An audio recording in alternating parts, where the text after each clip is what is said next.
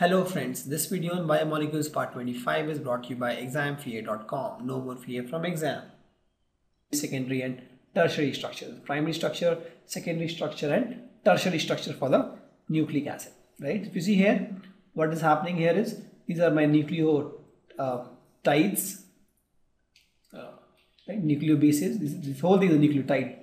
Actually, these are my nucleobases. This is my uh, backbone that is my sugar and the phosphoric acid and this is my nucleobases so we talk about the primary structure. Primary structure is nothing but the sequence of letter that indicates the nucleotides.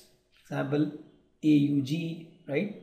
GAC all this and three of these will form one codon three base will form one codons so primary structure is nothing but sequence of letter that indicates order of nucleotides. So in DNA, we'll use um, the GACT in DNA. For RNA, we use sequence of GACU because T is not used, uracil is used. Right? So this sequence, the primary structure is nothing but sequence of nucleotides.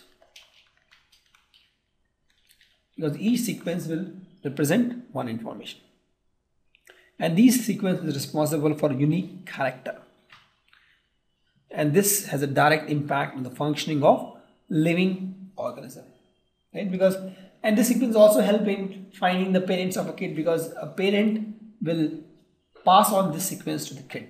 Almost the same. So with that there's a match they can say okay this uh, kid belongs to this parent.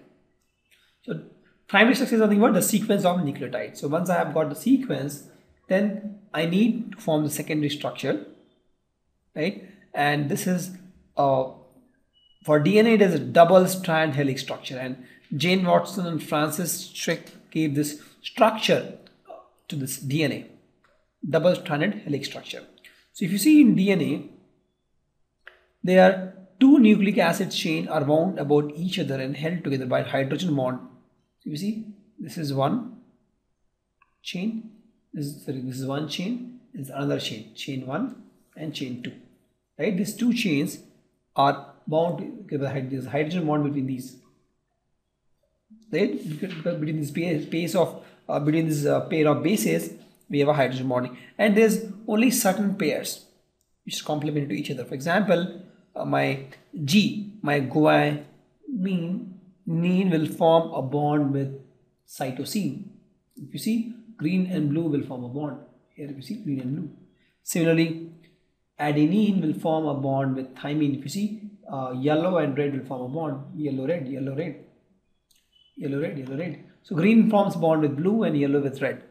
That is the pairing, right? So they are these two strands are complementary to each other actually. They are complementary because they forms a hydrogen bond between specific pairs only. So H bond between specific pair only. Example, G will form with C, A will form with T. Correct. So once I've got the secondary structure, but if you see, to get the exact precise 3D structure, we have to take into consideration the geometrical and the steric constraint.